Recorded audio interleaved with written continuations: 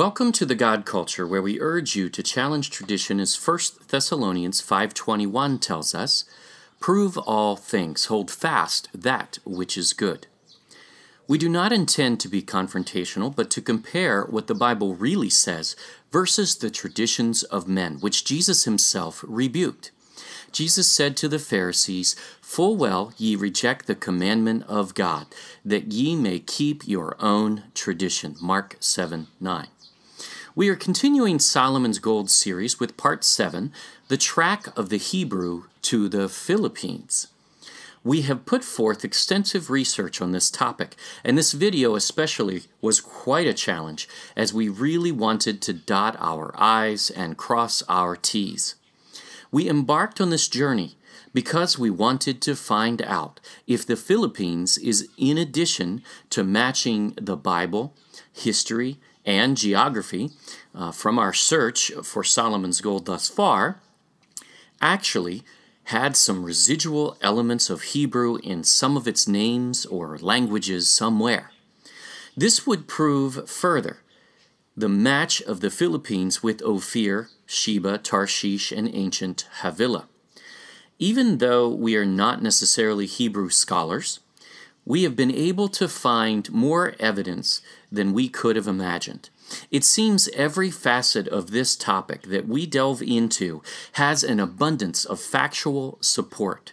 We did not expect this initially, but as we said before, we are now 100% convinced that Philippines is in fact the land of Ophir.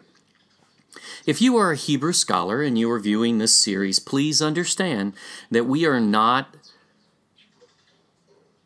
Hebrew scholars, but we are looking for possible links here in our crusade for knowledge in locating Ophir, which we believe to be the Philippines. If the Philippines is Ophir, then we believe there should be some connection to Hebrew in some way.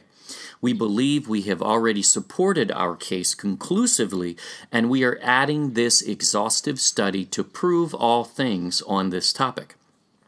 It only takes a few Hebrew references to strengthen our position here, and we have found what appear to be several. Regardless, we apologize in advance as some of our pronunciations may be off, but we will not allow that to intimidate us. If you are not a Hebrew scholar, please understand that you do not require one to conduct your own research. There are plenty of cross referenced websites out there, and Strong's Concordance is simple to use if nothing else. It may actually be better because these so called Hebrew scholars have missed all of this in the Bible for thousands of years. We will discuss this in detail in another series.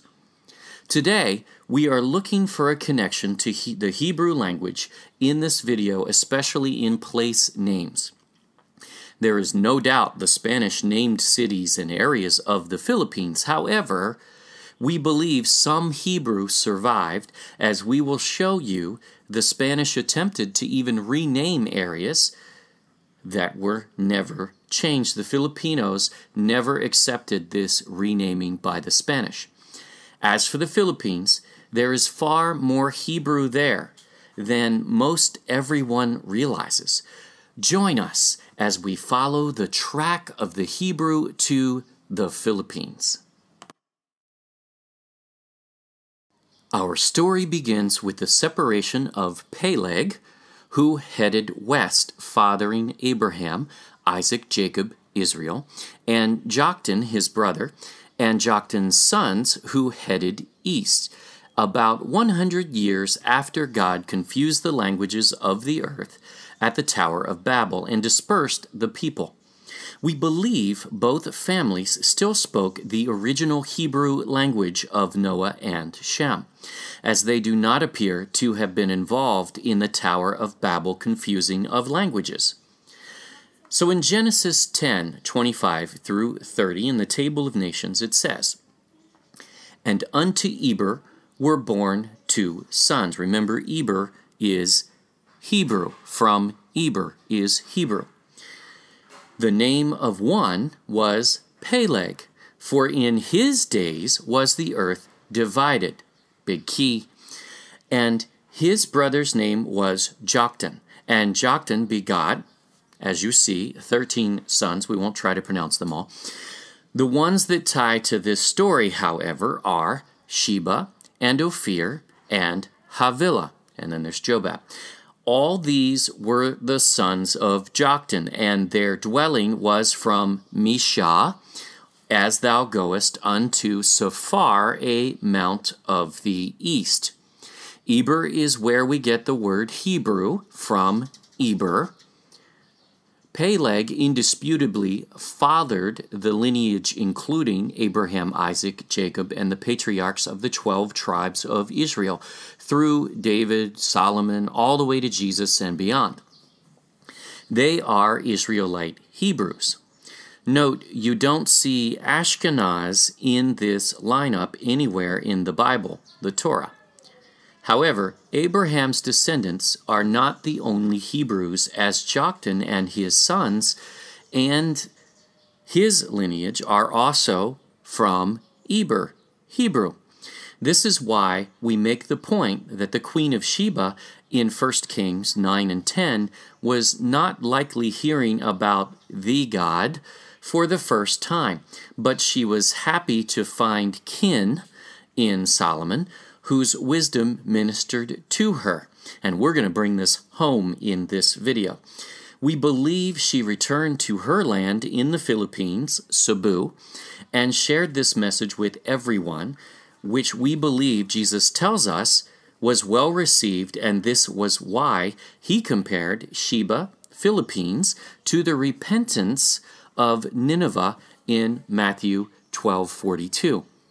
So the sons of Joktan lived from Misha to the east to Sephar. We had determined in our first video that Misha is Mashhad, Iran.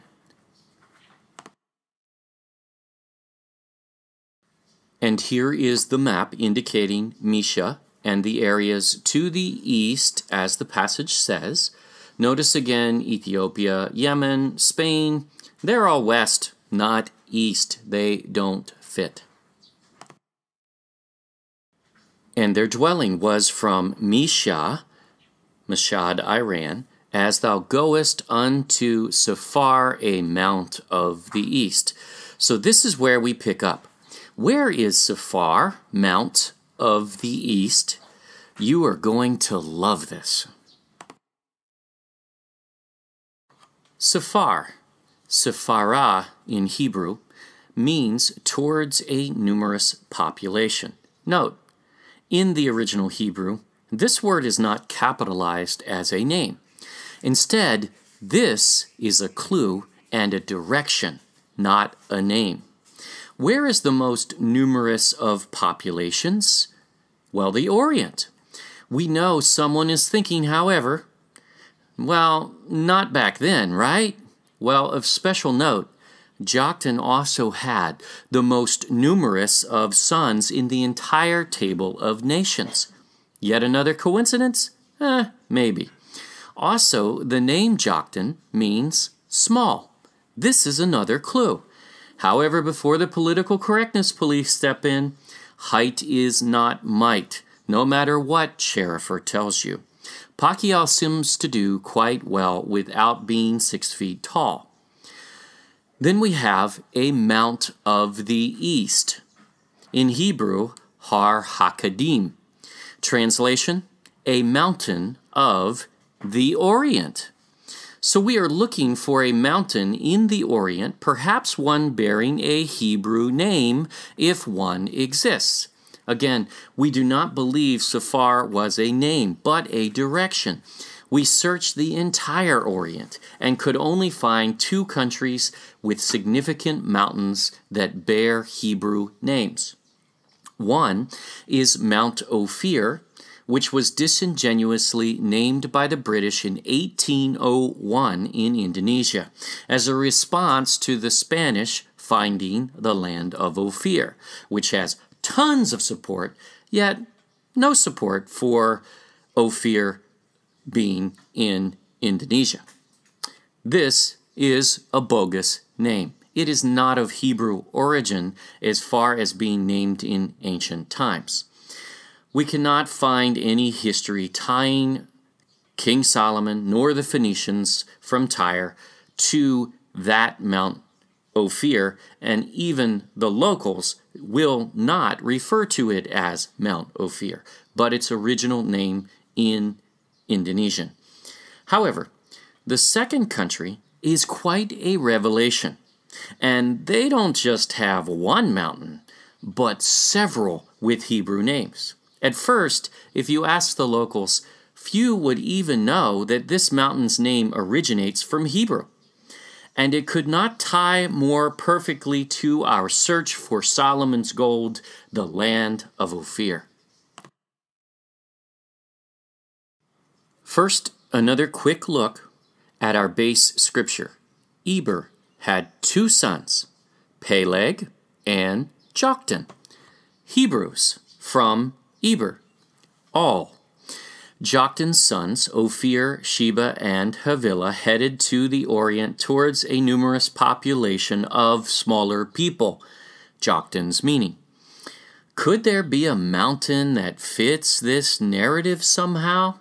Well, your search is over because this one is so obvious it is going to bump you in the head. The third tallest mountain in the country of the Philippines and the very tallest mountain on Luzon Island is Mount Pulag. Wait, you see where we are going here? Pulag and Peleg are similar, so they must be the same, right? Oh, no, no, no, this is far better than that. Pulag is not just similar to Peleg, it is the very same word in Hebrew. In Hebrew, the letters within a word can change, modifying the definition of the word to match the use of the word.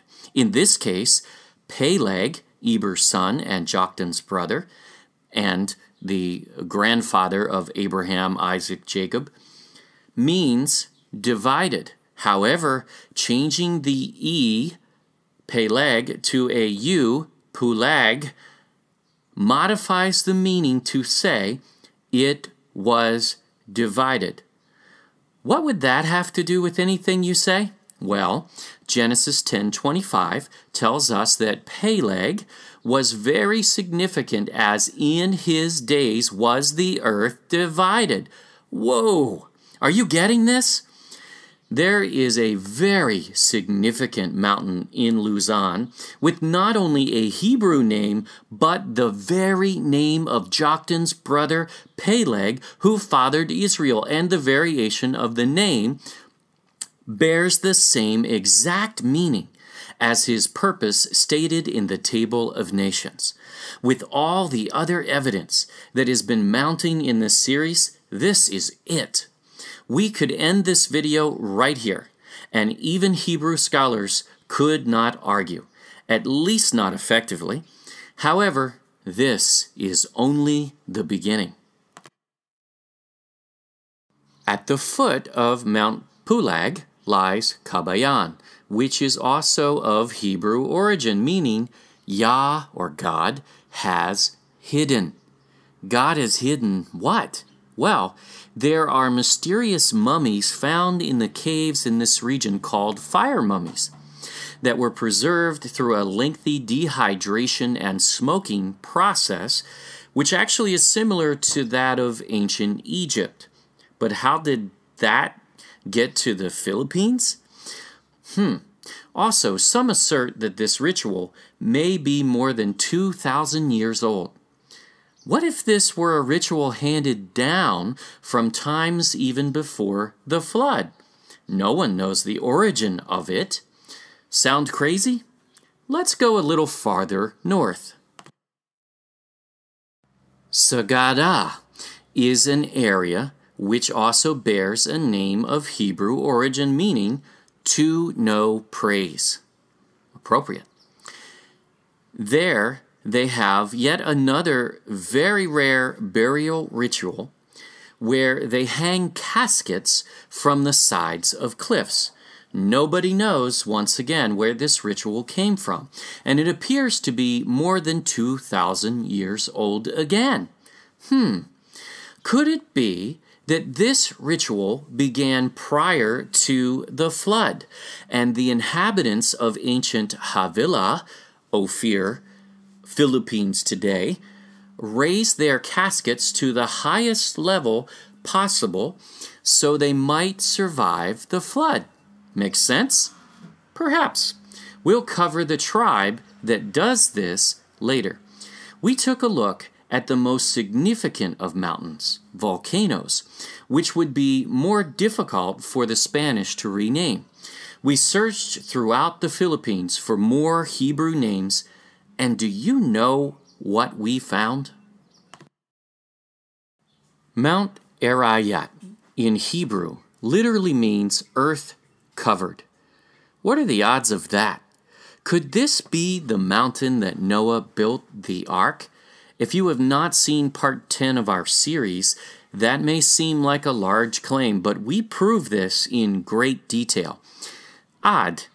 It also sounds very similar to Ararat, which are the mountains where the ark landed, which we know was not Turkey, but more likely Mount Everest.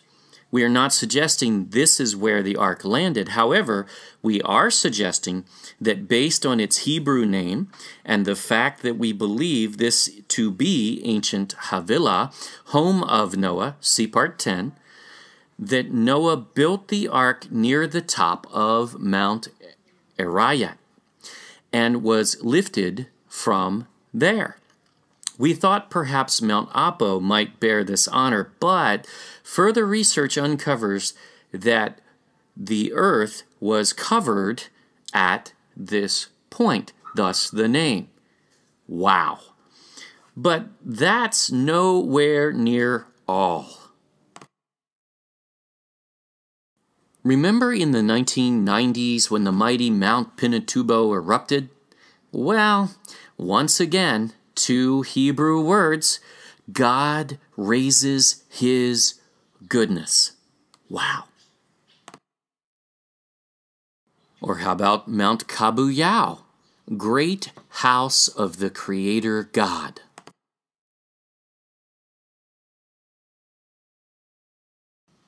Mount Mayon, spring of water in Hebrew.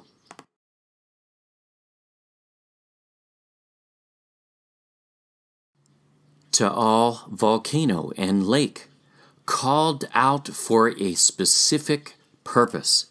Is anyone else noticing a pattern here?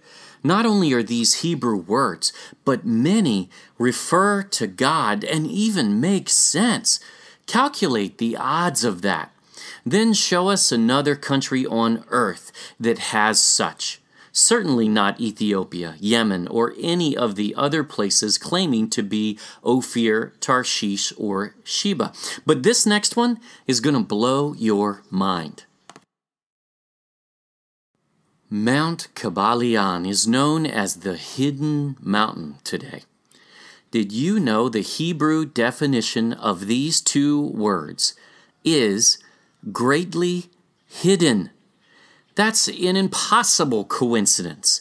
Again, this is enough evidence already to call it a day, but we are nowhere near done. Mount Banahao built by Creator God. Coincidence? How about one that ties directly to Solomon's temple? Yep, we got that too. Mount Matutum. Matu means to totter, shake, slide. No volcano would ever do that, right? Tum is the Hebrew plural of tom, meaning perfections or jewels. But not just any jewels. No, one of the epithets, jewels, of the objects in the high priest's breastplate as an emblem of complete truth? Tumim? Wow! Wait a minute. So there's a mountain actually named for the jewels worn by the high priest of Solomon's temple? An emblem of complete truth? Is this the actual location where the jewels came from for the breastplate of the high priest? Statistically, this is impossible as chance. There is only one way all of this ties together this well. God put it there for us to find. This is how the Bible works when you are seeking truth. We are not stretching definitions that might possibly fit here. This is an exact match to the search for Solomon's gold, including a mountain bearing Peleg's very name. One citing the flood, several expressing God's goodness in His creation, one that bears the same meaning in Hebrew as has been given to it in modern times. No, this is not a possibility of chance whatsoever. The ancestors of this land are speaking to us, and their names for these mountains have survived, but we're still not done.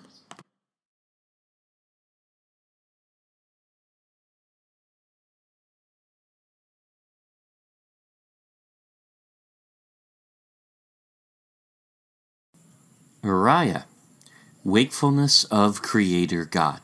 And here's one that's really going to shock you. Everyone in the Philippines knows what balut is, but did you know it's Hebrew?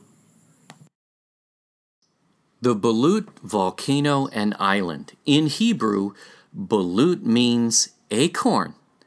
We know this doesn't sound like the duck egg that you bury in the ground and then eat, does it?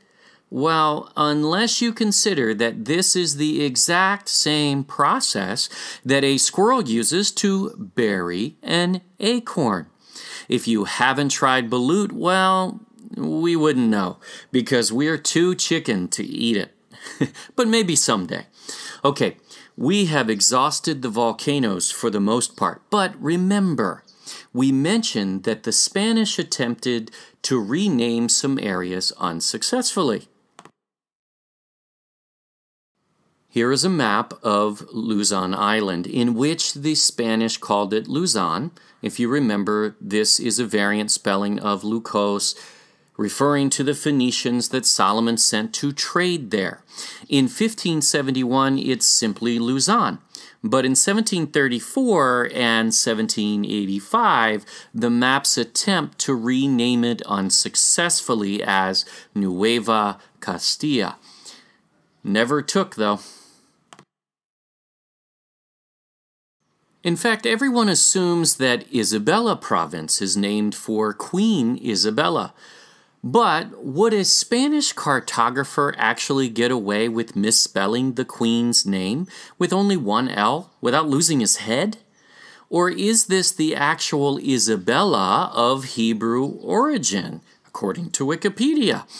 We don't know, but it's certainly worth questioning. Just as the Gold region and river, Abra Wikipedia tells us it's of Spanish origin.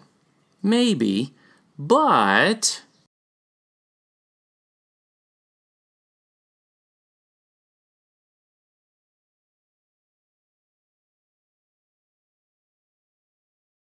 Did you know Abra is also a Hebrew word meaning mother of multitudes? It is also supposed that Solomon's favorite concubine was named Abra, though we cannot find that in the Bible. What we do know about Abra is that history documents it as an ancient gold mining area according to a case study from the Ilocos Sur Archaeology Project, who also cites the Philippines as the famous Indian islands of gold. Funny that some claim India to be Ophir, yet India even named the place where they got their gold. And we have already shown you evidence that is the Philippines. The Indus Valley, which supposedly has a claim of being Ophir, wasn't even a thriving civilization at the time of Solomon, and it's a ludicrous shot in the dark. Just look at the regions around Abra for more. We already covered several mountains near Abra with Hebrew names as well as Sagada and Kabayan. But did you know that Apayao, Cagayan, Ifugao, and possibly even Isabella yield Hebrew names as well? And could Ilocos be a variant of the Lucos or the Phoenicians who traded in the coastal areas of the northern coasts of Luzon? Could be. But Ifugao is of special note. In Hebrew, it means son of the honored one. Which honored one? Well, likely Peleg, who had the honor of having the earth divided in his days. Maybe this even points to a population of Israelite Hebrews? Well, the Igorot people who live in Ifugao and surrounding areas are a mystery. Igorot is a Hebrew word meaning letters. We do not know a certain application for this meaning in this case, but their language has been likened to that of Hebrew and even their law. Ranks fairly with Hebrew law. The purpose of this video is not to prove the Igorots or other tribes are Hebrew, but we are seeking Hebrew words, and we have already found many. There is another people worth noting, however, the Eskaya tribe of Bohol actually claim to descend from the builders of Solomon's temple. This is quite a claim, and we cannot prove it to date, but we cannot deny it either. And with all of the overwhelming evidence, this should be completely explored and not placed aside by scholars. It very well could be true. Jes B. Tirol wrote extensively that this language was similar to Hebrew, and he believed that they were actually of Hebrew origin. Again, we are not linguists and cannot conclude the same at this point, but find this to be very likely.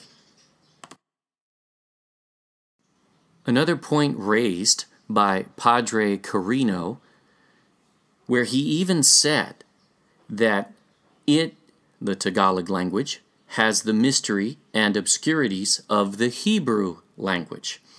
So he even believed that there were similarities between Tagalog, the national language of the Philippines, and Hebrew. Stephen Levinsohn, a linguist, wrote At the end of the workshop, one mother tongue translator remarked that had he known of the parallels between Philippine languages and Biblical Hebrew, he would have found the learning of the latter, Hebrew, much easier. His remark led me to raise the matter with a couple of seminary professors who teach Hebrew in Manila. Are these professors ignoring all this evidence?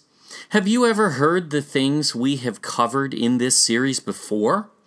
Certainly not in Jesuit schools, because those are the same Jesuits who began to document the culture of the Philippines and then hijacked it and its history.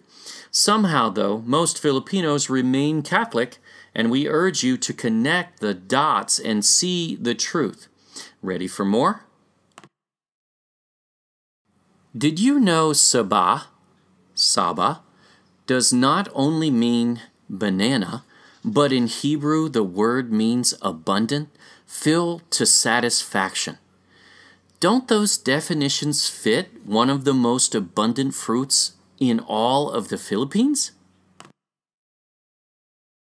And we already covered the Nara tree, the national tree of the Philippines, which we believe was used to build the ark, and that is why it was so significant that Solomon desired it to build the pillars and terraces of the temple.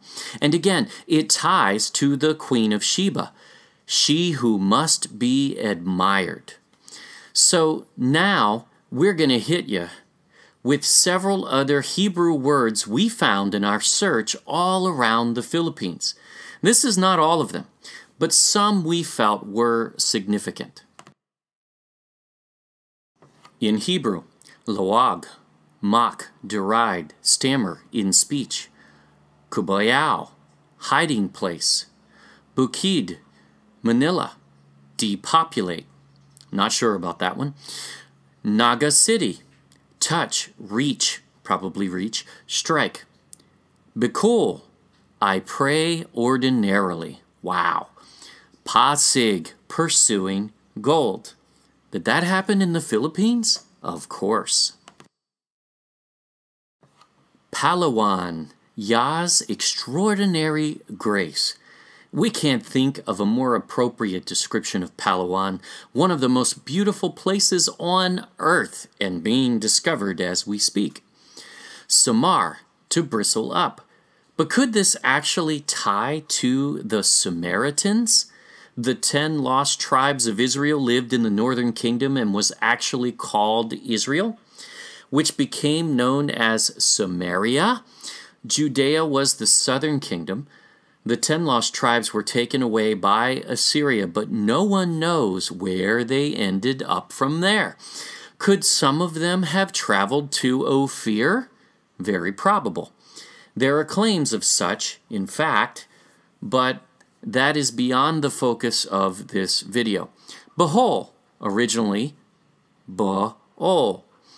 Hebrew, it means their job was to go or come. They were merchants, travelers of the sea, more than likely. Mindoro, kind gift of God. Wow. Menit, dart greedily from dwelling. Surigao, defiled princess. We have no idea how that story came to be, but let's keep going south because these words are everywhere. Muleta River were filled. A river was filled? Really? Could there be a better fit? Mindanao, be eminent, precious. Sulu Sea, Sulu is Akkadian or Phoenician for highway. Might Hiram, king of Tyre, have referred to the Sulu Sea in his own language as a highway? Certainly. Celebes Sea, dogs. Many referred to pirates as dogs. Were these waters known for pirates? Masara in Compostela, gold territory, means deliver yet another match to another gold region. Cagayan de Oro. Of course, this one must be Spanish, right? Or does the Hebrew meaning, mountain of the feast of Yah, make sense as well? But this is the most significant of all. Just what God did the Philippines serve before being conquered by the Spanish Catholic Holy Roman Empire a pagan one, as we are told? What did the Spanish historians observe when they arrived? From the journal of Antonio Pigafetta, who traveled with Magellan, the inhabitants, Filipinos, responded that they had no other God but raising their clasped hands and their face to the sky and that they called their God Abba. Abba, who is Abba? This doesn't sound like the supposed pagan god of the Philippines that the Catholics had to eradicate, does it? Nope. Abba is Aramaic for my father. Not just father, as you may have heard, but the more endearing my Father, which was spoken by Jesus in the Garden of Gethsemane. Mark 14:36 and he said Jesus Abba Father my Father all things are possible unto thee. Take away this cup from me. Nevertheless not what I will but what thou wilt how did the Filipinos know how to speak Spanish and worship their God in Spanish before the Spanish ever arrived? Answer They didn't.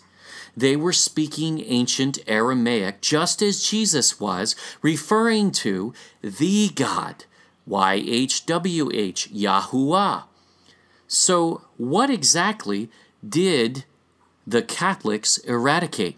Well, we learned practically all Filipinos had lots of gold inherited over thousands of years from their ancestors. Yep, that was eradicated, all right. We learned Filipinos had a flat level government in which the barangays were the very highest authority, similar to the culture of Noah, Abraham, Adam, and Moses. Gone, no longer there, eradicated. And now we find they were already serving the God that Jesus served before the Catholics even arrived.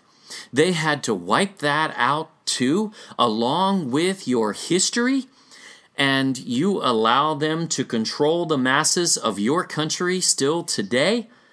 Your education institutions? Hmm. Perhaps it's time to follow Jesus' prophecy and rise up and condemn this generation as he says you will. We will discuss this further in Part 9 Future Prophecies of the Philippines. Now for some conclusions. Based on our research, we believe we can point to the general areas of Ophir, Sheba, and Tarshish within the Philippine archipelago.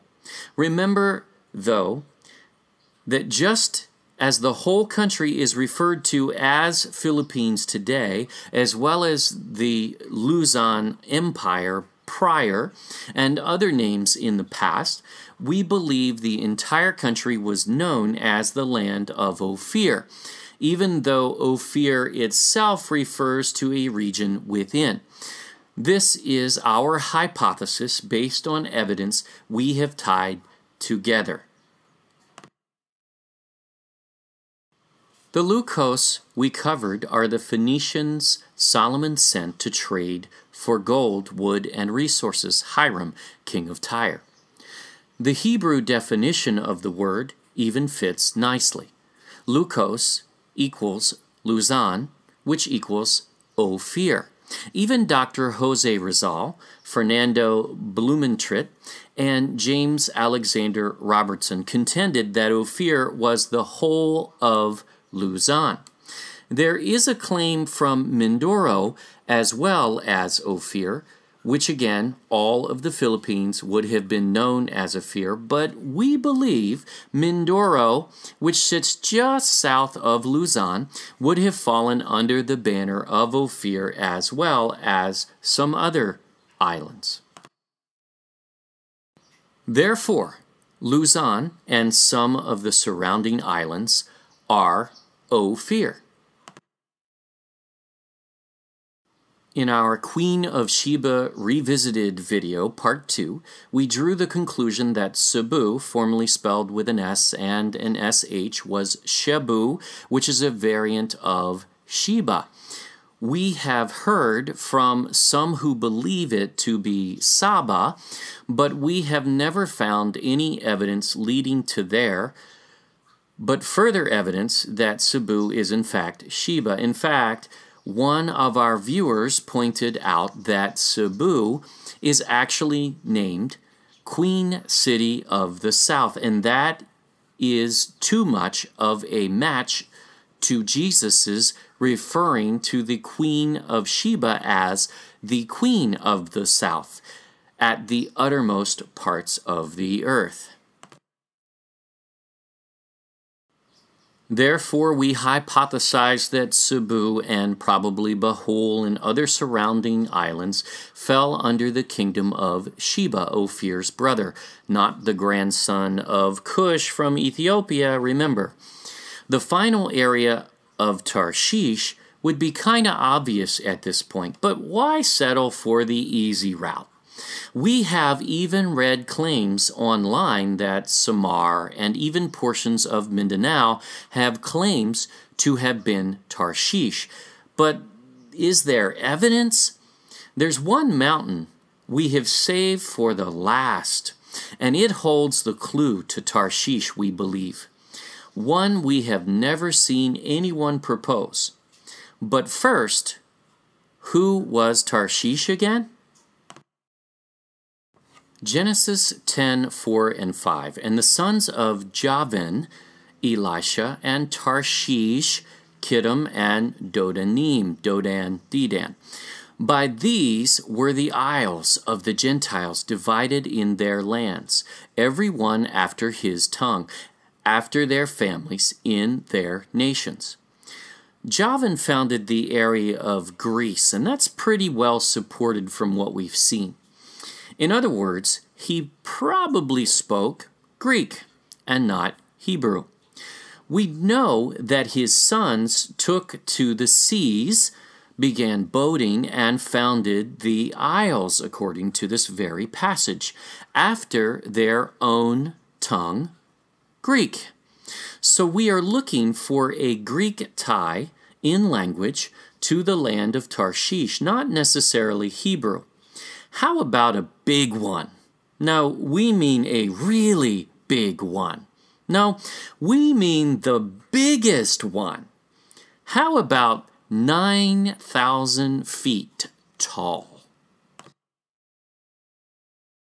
Okay, you guessed it. It's Mount Apo, the tallest mountain in the Philippines, the grandfather of all Philippine mountains. Apo is a loan word from Greek. It means away from denoting the furthest point in the orbit of a body in relation to the primary.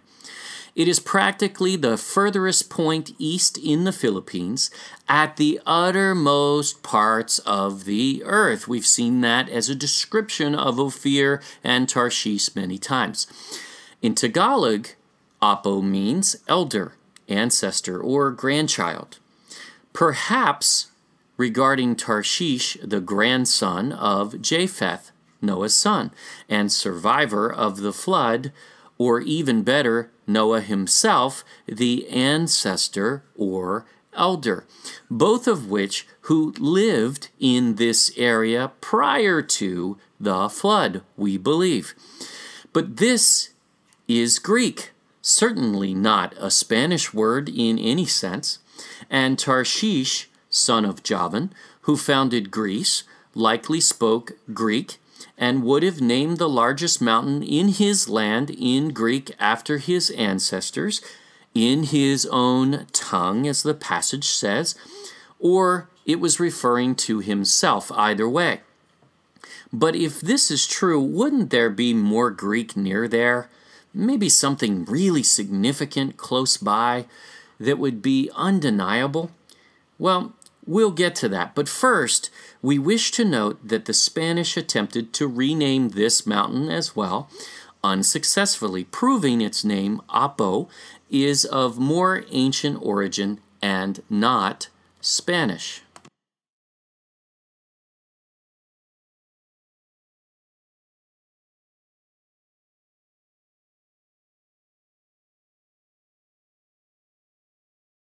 Here is a Spanish map from 1571 in which Mount Apo appears, but with its new Spanish name, Monte de Calata. Notice the list of rich resources this map documents in the Philippines as well. Very close to the description of Solomon's navy. In 1734, same. Monte di Calata.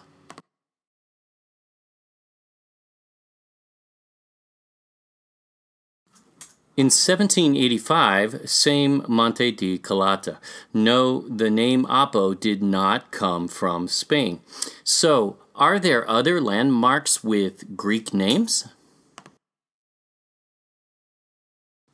Well, just the very city at the foot of Mount Apo, Davao. This is also a word of Greek origin, meaning menstruation. We know yuck, right? Why would anyone name an area after a woman's cycle? Well, Wasn't this the curse of Eve? Doesn't this bring us back to the land of Havilah, the land of Adam and Eve after the flood, which bore a similar meaning that suffers pain, that brings forth? Was Tarshish actually honoring the ancient Hebrew name Havilah, which is defined with Eve's curse from the garden as the Greek word for the same curse? Hmm, now we're talking. Wow. And here's another for posterity's sake Mount Kanlaon in Negros Occidental is Greek for at least God's people. There we go again. We do not place Negros in Tarshish, but perhaps it is. Therefore, it is our hypothesis that Luzon and surrounding isles are Ophir, Cebu, Bohol, and surrounding isles are Sheba, and Tarshish is Mindanao, Samar, and in between. And the area of Tarshish includes the areas of Tarshish's maritime brothers, Kittim, Elisha, and Dedan, Dodan, Dodanim, whichever name you wish to use. Remember, there are over 7,000 islands in the Philippine archipelago, thus, plenty of room for all of these names and many, many more. Wow, this is exciting. We truly believe that God is unveiling His Word here, and everything history, geography, and now even language tie into the Bible account for our search for Solomon's gold. No other area on earth fits like this, and anyone watching this entire series can scarcely question that the Philippines is Ophir, Tarshish, and Sheba. Stay tuned for our final two videos in this series, Part 8, Not Ophir, exploring the other claims and obliterating them, and Part 9, Future Prophecy of Ophir.